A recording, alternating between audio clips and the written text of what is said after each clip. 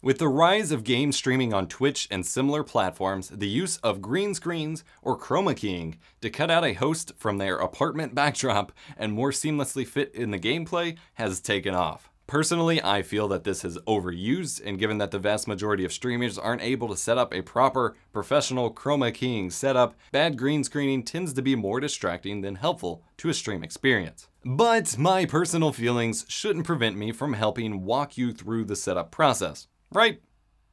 Here we go.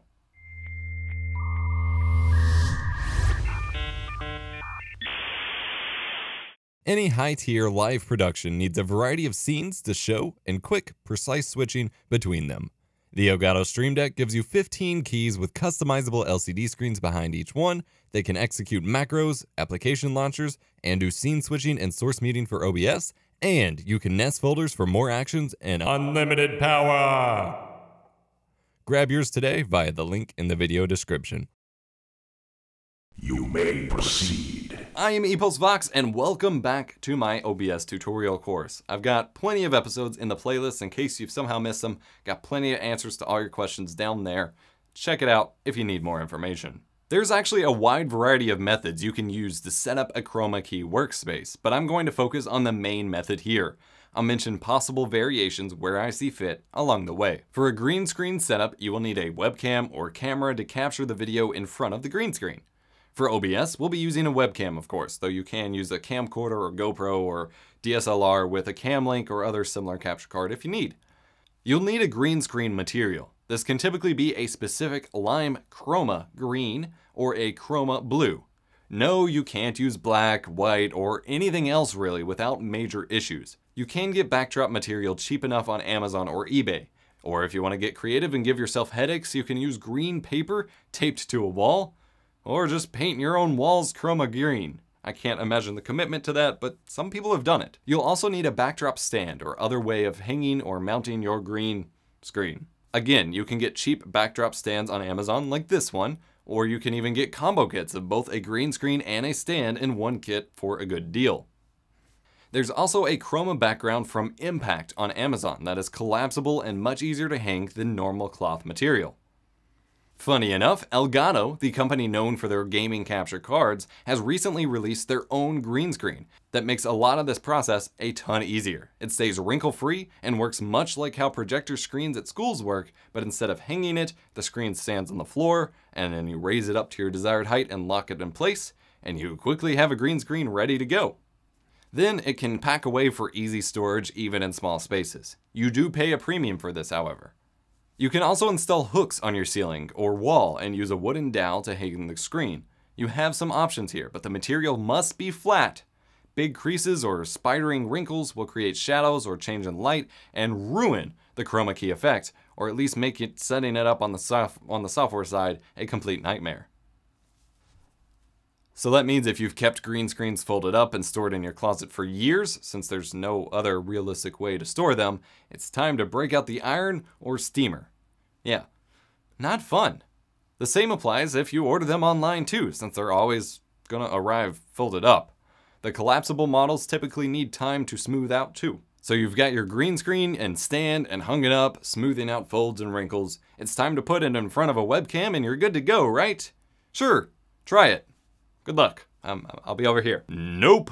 Successful chroma keying requires some serious lighting. Your backdrop needs to be evenly lit so that your camera sees the green color evenly and can easily cut it out. But you will also need to be well lit too. Even lighting needs to be used so that you're not casting crazy shadows onto the backdrop and so that you stand out from it. Avoid green clothes or green logos on your clothes, of course, or blue if you're using a blue screen. You can get cheap clamp lights from your local hardware store and then some true white light bulbs. The Philips Daylight LED bulbs are a good option if they don't show up as a flickery mess on your camera, or you can order dedicated video bulbs from Amazon. Links are in the video description. If you want to set up stands, tripods, or some sort of mounting equipment, you can also use cheap LED panels from Amazon or B&H too.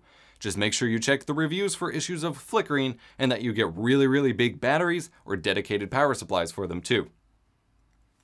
Hardware side, that is it. Set up a flat green screen, light it well, and go.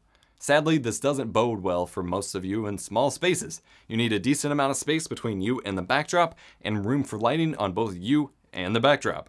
This lighting can get hot too. Even my lighting right now, it is very hot in here. Green screen setups can be done in small spaces. It just takes a lot of patience, a little creativity, and lots of tinkering with the software settings. Speaking of which, let's jump into OBS, you know, what this series is actually about. In OBS Studio, add your face cam to your scene as you normally would. Once it's set up, right click the source listing and click Filters. Here, you can add lots of effects and edits to your audio and video from this source. Under Effect Filters, click the plus sign, and you can either use Color Key or Chroma Key. One may work better depending on your setup, but the intended purpose is basically the same here. Pick one and choose your key color type. For most, this should be green, but you can do chroma blue or some weird magenta color as well.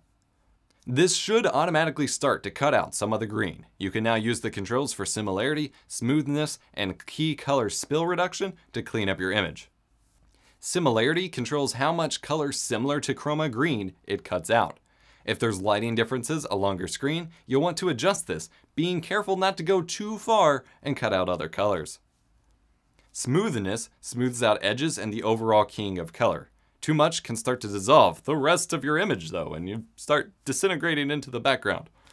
Key color spill reduction aims to help reduce the keying of other colors. But again, messing with this too much can affect your, your image on the whole. You gotta use moderation here. For most uses, opacity should be left alone.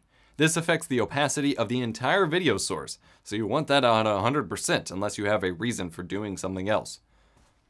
This filter also gives you controls for contrast, brightness, and gamma, but these should be left alone in most cases too. This is something you need to adjust in your webcam's settings instead of here. Especially if the webcam has been left on automatic default modes, you may notice your skin has now started to turn red on camera due to the camera trying to compensate for the very green backdrop. Auto white balance and auto exposure are your friend. Remembering to mess with lighting as much as software settings, it's time to hit close so we can tinker with the webcam. Again, right click your video source, this time hitting properties. Then click configure video. In most cases, this should pop up a fairly Spartan looking properties menu for your webcam with a lot of sliders and a couple tabs. You'll want to use this to tweak your webcam's image to make it look better with the green screen. Brightness, gain, contrast, and so on. There are a couple key points you'll want to tackle first though. First, uncheck the box for auto white balance. This is what makes your skin look red. You want to manually adjust the slider until your skin tone looks natural and colors look right. On the second tab, uncheck low light compensation and the auto box for exposure. You want your lighting and webcam's interpretation of the lighting to remain consistent for keying to work and for your image to look good. Then balance the exposure slider and the gain slider on the previous tab, along with contrast and brightness to get a desirable image. If there's some flicker or refreshing of your LED lighting, try messing with the power line frequency anti-flicker drop-down selection to see if it helps. Once you're done here, go back to your filter settings and finish cleaning up your chroma keying settings. They should be much easier to manage with these new webcam settings fixed. And voila, you have a chroma key setup for your facecam. Just keep in mind that moving things, variation in lighting, and so on can affect this, so you may find yourself tinkering with it frequently. If all of this sounds like too much of a headache, I, I, don't blame you. Certain webcams have started to come with the capabilities to perform virtual chroma keying, or software-based background removal, to achieve similar effects. We'll cover these in the next video in the course. I hope this episode of my OBS tutorial course has been helpful for you. If it has been, hit the like button, hit the subscribe button. You know you want to see more awesome tech content from me. Come follow me on Twitch if you're interested in game streaming and say hi in chat. Until next time, I'm EposVox.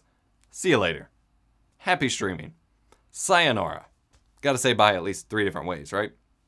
Thanks for watching this episode of my OBS Studio tutorial course. More videos like this and a full master class are linked in the playlist in the video description. Click to learn more. Also, consider joining us on Patreon to help keep tech education free. Go to patreon.com slash eposvox to sign up.